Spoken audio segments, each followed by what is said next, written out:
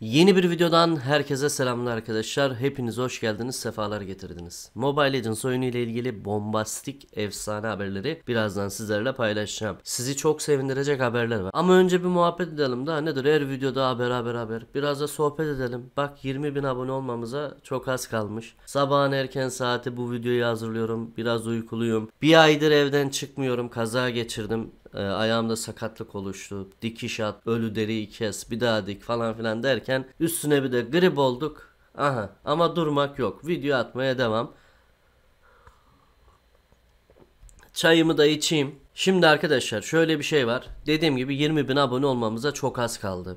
Sizlerin desteğiyle bunu başaracağıma inanıyorum. Osman Bülbül YouTube kanalına abone olarak Mobile Legends oyununa yeni gelecek olan etkinliklerden ve diğer özelliklerden önceden haberdar olabilirsiniz. Ayrıca kanalımda gameplay videoları mevcut. Abonelerim hesabımda oyun oynuyor serisi var. Çok güzel gameplayler de paylaşıyorum. Yani Mobile Legends oyunu ile ilgili ne ararsanız Osman Bülbül YouTube kanalında. Hatta yarışmalar bile var. Farklılıkları bulma yarışması. Karşınıza iki görsel koyuyorum. O iki görsel arasında farklılıkları bulup bin elmas kazanabiliyorsunuz. Onu da linkini yukarı bıraktım. Yo şura mı? Ha şöyle oluyor yani. Şuraya bıraktım.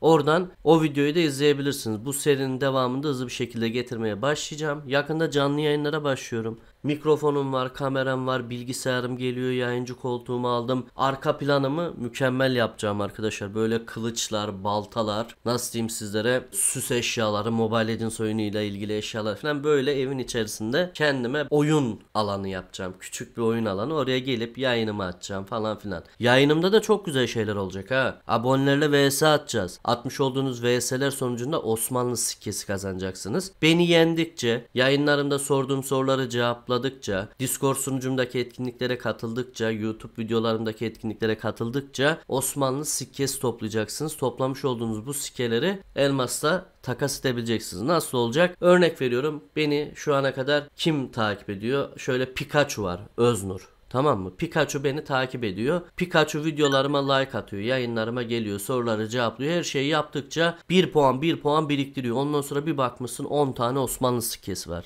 Ne diyeceğim? Öznur 10 tane Osmanlı sikkesinin karşılığı 500 elmastır. Veriyorum 500 elması. Excel tablosundan da 10 tane Osmanlı sikkesini siliyorum. Görev aralıkları olacak. Mesela 10 tane Osmanlı sikkesi 500 elmas. 20 tane Osmanlı sikkesi 1000 elmas. 30 tane Osmanlı sikesi 2000 elmas. Peki bu sikeleri nasıl kazanacaksınız arkadaşlar? Yayınlarıma gelerek, yayınlarda chatte sorduğum soruları cevaplayarak, YouTube'daki videolarımı takip ederek, Discord'daki çekilişlere, etkinliklere katılarak. Yani uzun lafın kısası siz bana destek oluyorsunuz. Ben de sizler için çok değişik şeyler yapmaya devam edeceğim. Bu işlerde destek çok önemli arkadaşlar. Bir like atmak, bir abone ol butonuna basıp zili açmanın size hiçbir masrafı yok. Bunu yaparak bana destek olabilirsiniz. Bunu sizlerle paylaşmak istedim. Umarım bana destek olursunuz. İleride daha güzel şeyleri hep birlikte başarırız. YouTube kanalındaki amacım şu. İnsanlar Osman Bülbül YouTube kanalına girdiği zaman gameplay olsun, farklı bir içeriği olsun, yarışması olsun, etkinlik haberleri olsun filan burada sonuçta değerli vaktinizi ayırıp beni izliyorsunuz. Ona değsin istiyorum arkadaşlar. Ama attığınız her like, kanala abone oluşunuz bana büyük bir motivasyon. Çok teşekkür ediyorum sizlere. Bir çayımı yudumlayayım bir saniye. Çayımızı da yudumladık efsane haberleri vermeye geçebiliriz. Hadi bakalım. İlk haberim Leslie etkinliği ile ilgili olacak arkadaşlar. Biliyorsunuz Leslie kahramanla yıllık star kostümü geliyor. Onun da eli kulağındadır. Çok yakında daha detaylı görseller ve kostümün savaş alanındaki efektleri çıkacaktır ama etkinliğin tasarımı ile ilgili haberler geldikçe şu an ekrana görselini yansıttığım gibi sizlerle paylaşmaya çalışıyorum. Leslie etkinliği ekranda gördüğünüz gibi olacak. 1x 10x çevirme yaptığımız bir alan olacak. Burada çevirmeler yaparak toplamış olduğumuz puanlarla birlikte marketten Leslie ile ilgili hem kostümünü hem de efektleri alacağız ve yıldız üyeliklerle alakalı eskiye dönük emojiler vesaire vesaire etkinlikte olacak. Leslie yıllık star etkinliğinde de jeton görev görevleri olacak. Bu jeton görevlerini tamamlayıp toplamış olduğumuz jetonlarla birlikte bu etkinlikte ücretsiz çevirmeler yapabileceğiz. Sıradaki haberim aspirantlarla ilgili. Aspirant etkinliği çok yakında Rabbi ve Angela için gelecek arkadaşlar. Ben konuşurken görselleri de arka planda yansıtıyor olacağım. Bütün görselleri görürsünüz. Yakında etkinlik test sunucularına da gelir. Orada uygulamalı çevirmeler yaparak etkinliği sizlere anlatırım. Aspirant etkinliğinde Rabbi ve Angela'ya özel emojiler olacak saklı heykeller olacak ve kostümlerin detayları da görselde gördüğünüz gibi olacak. Yine aspirant etkinliğinde part 1 ve part 2 çevirmeleri olacak. Part 1 part 2 çevirmeleri nedir? Jeton görevleri. Oyuna elmas yükle, elmas harca, giriş yap, arkadaşlarla oyna. Bütün görevleri tamamlayarak toplamış olduğunuz jetonlarla ücretsiz çevirmeler yapabileceğiniz etkinlikler gelecek. Hem aspirantın başında hem de aspirantın sonuna doğru ilk kez gelecek. Bunun bilgisini sizlere vereyim. Yakın zamanda oyunumuza gelecek olan tüm emojileri bu ekranda görebiliyorsunuz. Leslie emojisi, Popol Kupa emojisi, Vexana emojisi, Rabe Angela emojisi, Saint Seiya kostümlerinin Badang Chu ve Valir emojileri ekranda gördüğünüz gibi olacak. Oyunumuza ilerleyen süreçlerde gelecek olan etkinliklerin çerçevesini şu an ekranda görüyorsunuz arkadaşlar. Leslie'in yıllık star çerçevesi, MSL çerçevesi, Science Seyyalarla ilgili iki tane çerçeve görüyorsunuz. Bir de aspirantlar için Rabi çerçevesini görüyorsunuz. Bir de Angela için çerçeve gelecek. Onu da ilerleyen süreçlerde sizlerle paylaşırım. Sıradaki haberim Yıldız Üyelik haberi biliyorsunuz önümüzdeki ay Yıldız Üyelik kostümü Popol ve Kupa'ya geliyor. Popol Kupa Yıldız Üyeliği gelmeden bir Yıldız Üyelik haberi daha vermek istiyorum sizlere. Vexana için Yıldız Üyelik gelecek. Hatta Vexana'nın saklı heykeli şu an ekrana yansıttığım gibi olacak. Saklı heykeli bile çıktı. Ayrıca Vexena'nın yıldız üyelik emojisi bu şekilde olacak ve kostümün tasarımları da şu an görselde gördüğünüz gibi olacak. Vexena yıldız üyelik kostümü büyük bir ihtimalle Ocak ya da Şubat ayında gelecektir arkadaşlar. Vexena severlere hayırlı olsun diyelim. Sıradaki haberim Lunar Fest ile ilgili. 2018 yılında Aurora için Lunar Fest kostümü gelmişti. 2019 yılı için Lolita'ya, 2020 yılı için Odette'ye, 2021 yılı için Louis'ye, 2022 için Sana gelmişti ve 2023 yılının Lunar Fest kostümü artık %100 kesinleşti. Change kahramanına gelecek. Gerçekten çok güzel ve efektif bir kostüm olacak. Ultisini açtığınız zaman böyle kırmızı sarılı bir efektleri olacak. Güzel bir kostüm olacak arkadaşlar. Yakında detayları da çıkar. Savaş alanı efektleri falan onları da sizlerle paylaşacağım.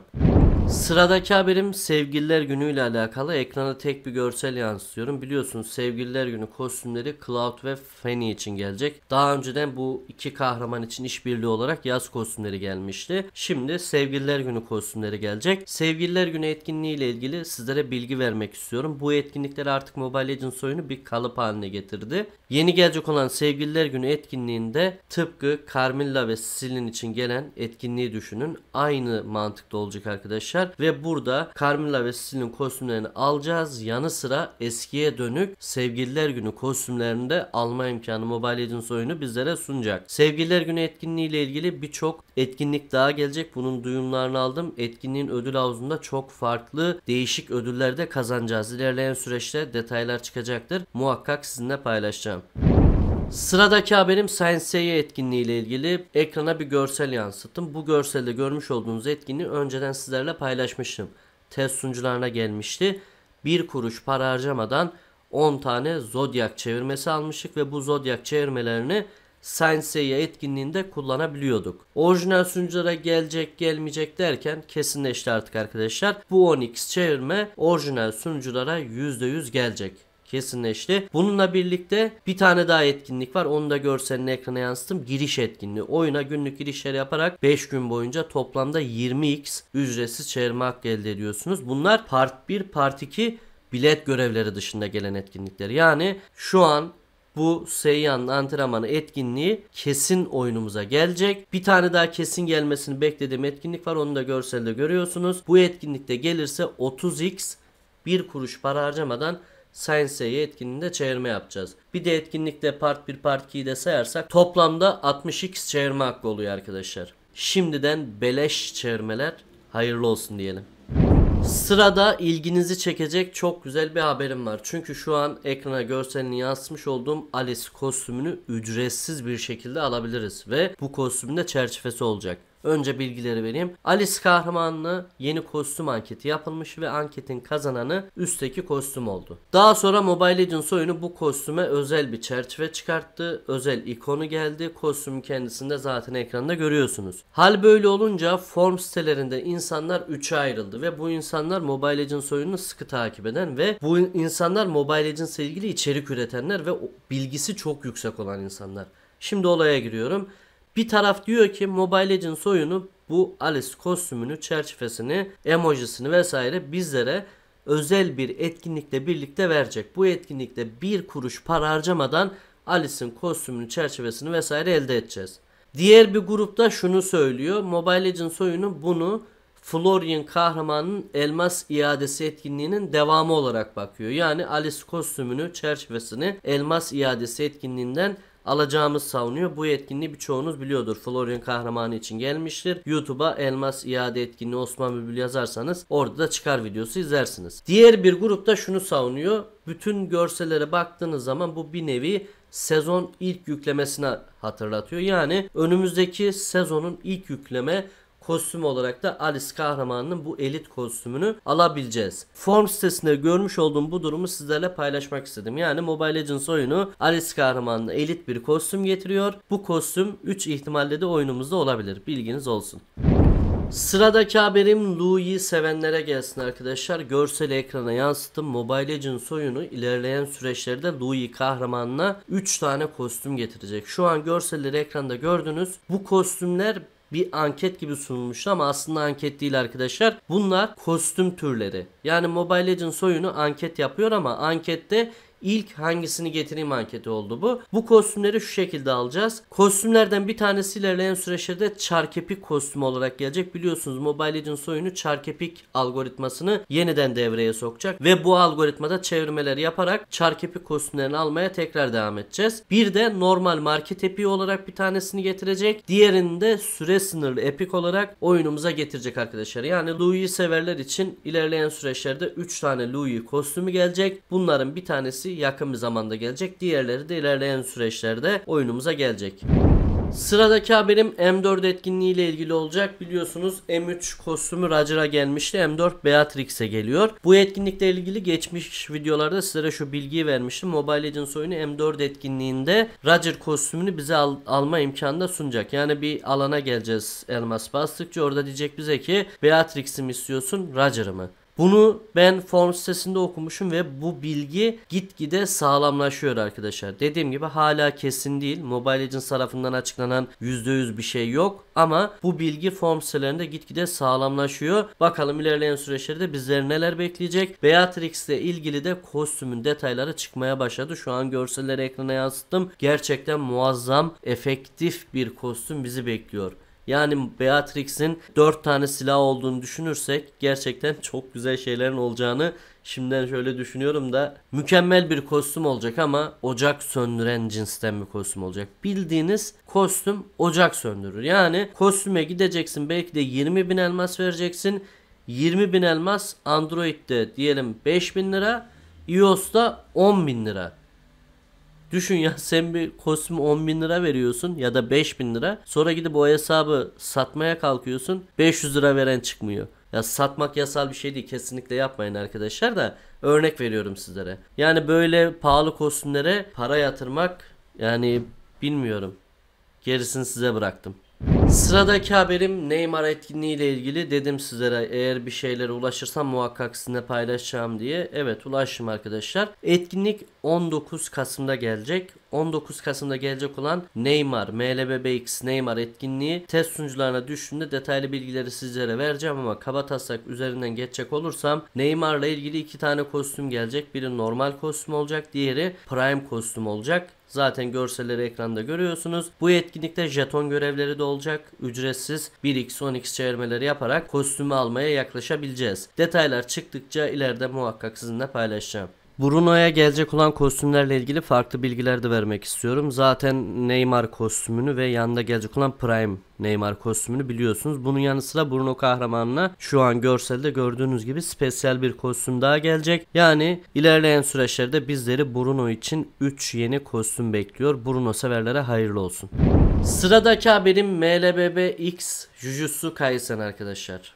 Bu etkinlikte biliyorsunuz Javier, Melissa, Yin ve Julian kahramanlarına kostümler gelecek. Jujutsu Kaisen kostümleri ve çok efektif muazzam kostümler olacak. Belki de Mobile Legends oyununa gelecek en kaliteli işbirliği kostümleri olacak. Fiyatı ne kadar olur, cep yakar mı, ocak söndürür mü bilemiyorum ama Mobile Legends oyunu form sitelerinde artık bu heroları ve Jujutsu Kaisen seslerini duyurmaya başladı. Çok yakında etkinlikle ilgili görseller çıkmaya başlar. Çıkınca muhakkak sizinle paylaşacağım. Şöyle bir detay vermek istiyorum sizlere. ML TLBB X Jujutsu Kaisen etkinliğinin kostümleri böyle giriş animasyonu var ya kostüme baktığımız ekran. O ekranda bile çok farklı olacakmış arkadaşlar. Arka plan efektleri falan çok değişik olacakmış. Bu duyumları form sitelerinde aldım. Bu yüzden pahalı kostümler olacaktır diye bekliyorum. Ama dediğim gibi ileride detayları paylaşacağım. Bakalım o zaman nasıl olur.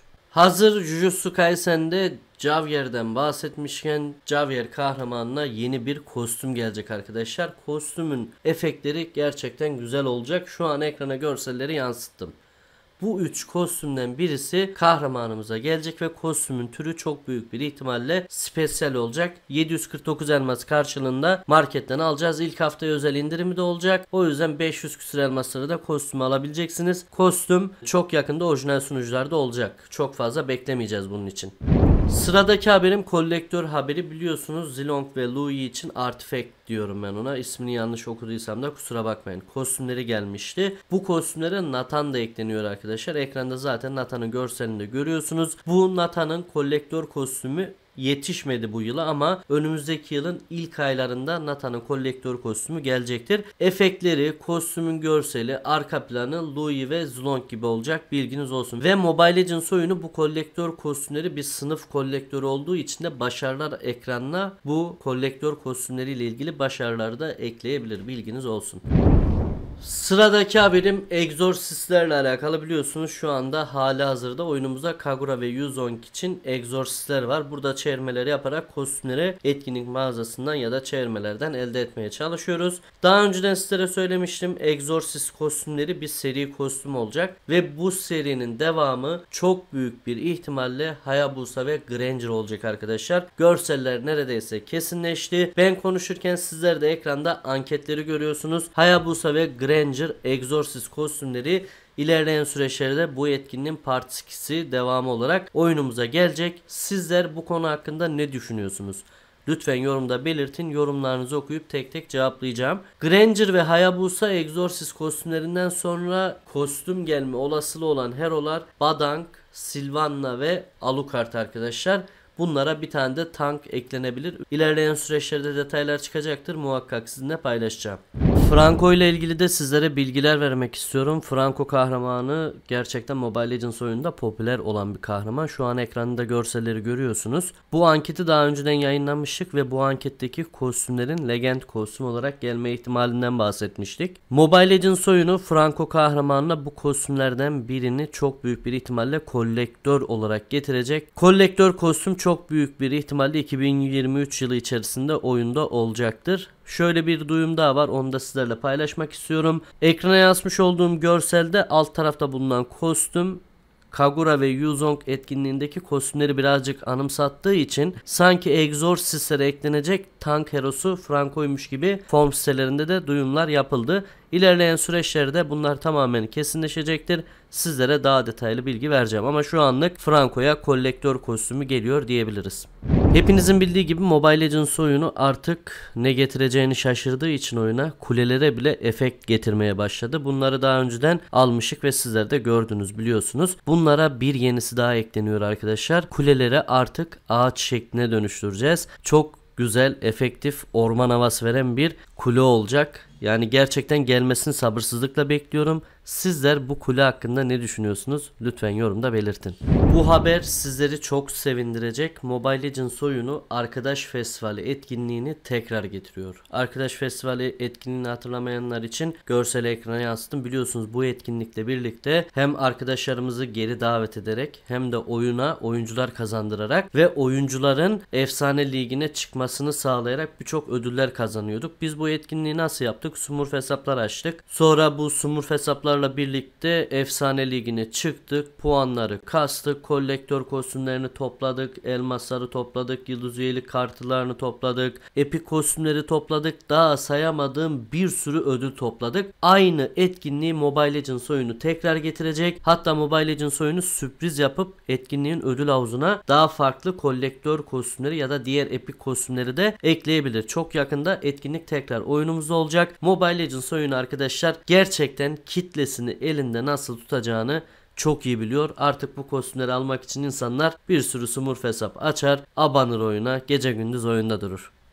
Evet arkadaşlar bu videoda bu şekildeydi. Umarım sizler için bilgilendirici haberler olmuştur. Umarım videoyu beğenmişsinizdir. Videoyu beğendiyseniz like atmayı, kanalıma abone olup bildirimleri açmayı unutmayın. Dediğim gibi kanalıma abone olursanız bu tarz bilgilerden erkenden haberdar olabilirsiniz ve bana çok büyük destek vermiş olursunuz. Mobile Legends oyunu ile ilgili paylaşacaklarım bitmedi. Daha bir sürü haber var ama hepsini tek bir videoya sığdırmak istemedim. Diğer videolarda görüşmek üzere. Kendinize iyi bakın.